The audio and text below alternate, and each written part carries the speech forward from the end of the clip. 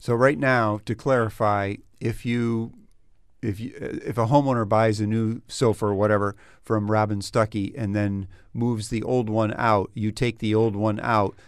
It- yes, that, that's what will get donated, and that's what you will give the one hundred dollar voucher for. Absolutely. And and the part that, that we think maybe could be helpful to people, it's it's not easy to move a sofa. So even if you are in the mood to donate something, it's difficult to get the thing out of your house. You, you know, there need to be people who can pick it up and move it around for you.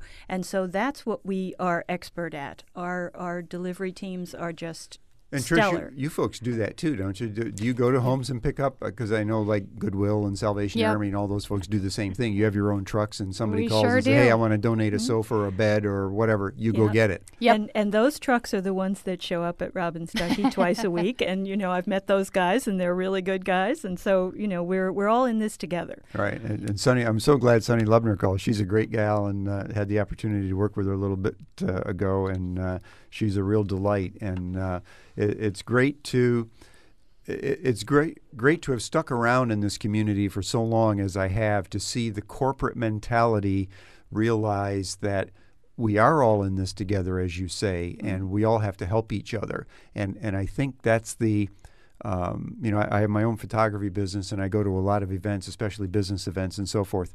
And some of ours, And too. I'm yes, and I and I have, I hear something today that I I did not hear a year ago, and that is CEOs and PR people and everyone saying we have to help each other.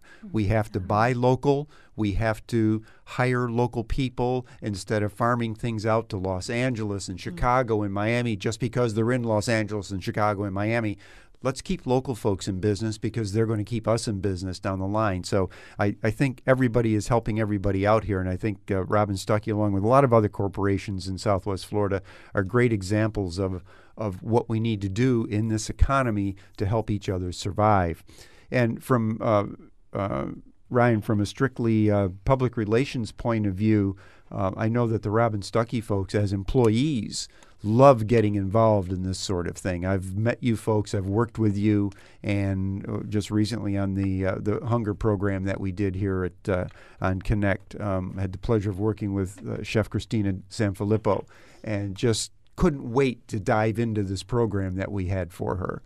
Absolutely. No, I think uh, Robb & Stucky as a community, as a corporation, and as uh, employees and um, residents of Southwest Florida love getting involved and giving back to uh, Southwest Florida. All right, let's talk to uh, Rhonda. Let me see if I can find you, Rhonda. Help me, Rhonda. Help me. There you go. Rhonda, go ahead with your question. Hi, this is another question in the tree hugger department. Um, we are in the pro- we're in the process of uh, demolishing an older home in favor of building a um, a new energy efficient home, and it's not in bad condition. The one that we're demolishing can Habitat uh, salvage any of the materials, and this would warm my heart in in favor of recycling some You're- of these you're getting- windows, doors. You're getting thumbs up all around the table here for, for your comment. You comment. go, girl. yeah, you know, um, the really great thing about our, our thrift store um, that we have available, even if we cannot use the pieces that you have available in our own homes, we can use it in our thrift store. And, you know, not every thrift store can sell building materials. And uh, we are one of the very few in the area. And so if you've got pieces, if we can't use it to build on our own homes, we're going to put it in our thrift store, sell it, and that money in turn generates income for our, to build new homes. So that would definitely be used. What do you need to? What do you need in terms of lead time for coming in and um, say I'm going to demolish in two weeks? Would that give you enough time to come in and um, pull out whatever components are useful? Absolutely. You give us a week and we'll we'll get a schedule together. If, if you call us tomorrow and uh, and say, hey, I want a group to come out here, we'll get out there by the end of the week and we'll be able to take an assessment and grab what we can. And uh, that should give you enough time, right? Uh, yeah. Very good. Well, then All right. it sounds like a deal. All right, do you have a pen and pencil handy, Rhonda? Do you have the Uh, number? I don't. I'm, um, no, actually, I'll go online when I get home. Okay. I'm, in, I'm on the road. All right, habitatforhumanity.org. Gotcha. Thank you. and, and they'll take care of you. Thanks a lot. That's a great offer. We sincerely appreciate it. We're getting uh, we're getting help from all over the place today. This is awesome. Let me talk to uh, Lynn in Lehigh Acres. Go ahead. Hello, Lynn. Hi, Trisha. Hi, Trisha. This is Lynn. my question is, how do you decide where to build or buy your home, and which one a family will move into?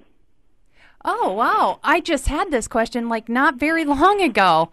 I, and it was almost verbatim. Um, the, the actually where we're at building homes is all around Lee County, and we only get the um, properties based on if we can get it donated or if we can get it at a good price. And the other thing that you, the other question you asked is about our homeowners, where we're going to put our homeowners um, as far as what address they can be assigned, and that's basically um, just first come first serve. If a homeowner comes into our program and says, "I want a home in Lehigh Acres," we're just going to give them the first address that's available that our volunteers have finished up, and um, and and that's the way that we we go about in doing that. That answer your question? Very good. All right, thanks a lot, Lynn. We we appreciate your question. Thanks for calling in. We've got another caller who's been holding on for a while. You folks are really patient today. I appreciate it. David on Fort Myers Beach, go ahead. Oh, good afternoon. Uh, my question is with uh, with regard to the homeowner. Is there any requirements or follow up on the homeowners? And the reason I ask this is because of the stigma that's associated with the low income housing and uh, how they always get run down and usually torn down in the communities. And I'll take my comments and answers off air, please. Thank you. All right, thanks a lot, David. We appreciate the call. Trish, what about that? Do you do any follow up with homeowners to see if they're keeping the homes up? Are they hmm. treating them? As nicely as you would hope? Great question because I actually get this question quite a bit when I'm out and about in the community. Um, you know, once our homeowners receive their mortgage with Habitat, we allow them to be a traditional homeowner, meaning they all they their relationship is with us now is to pay that mortgage. Um, you go to any other mortgage company, and that company is not um, going back and forth with the homeowner and checking up on them and seeing how things are going. What they're there for is to collect the payment each month, and that's basically what we become come to our homeowners once uh, they go through the program and receive that mortgage.